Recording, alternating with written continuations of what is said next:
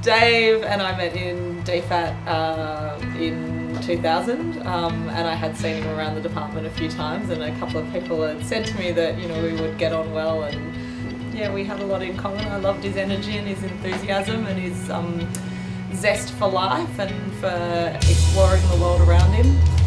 Dave is a fantastic father to his three daughters. He's incredibly nurturing of them. He's, he's been a great dad. I couldn't have picked a better one.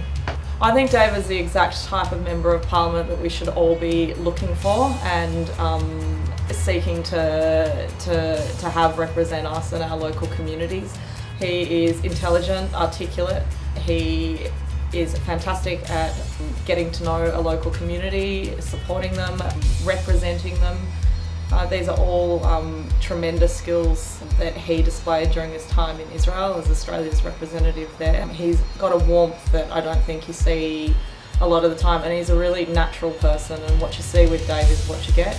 I think he'd do a terrific job representing the people of Wentworth and making sure that their voices were heard at the federal level. Authorised by Chris Stone, Liberal Party of Australia, New South Wales Division, East Sydney.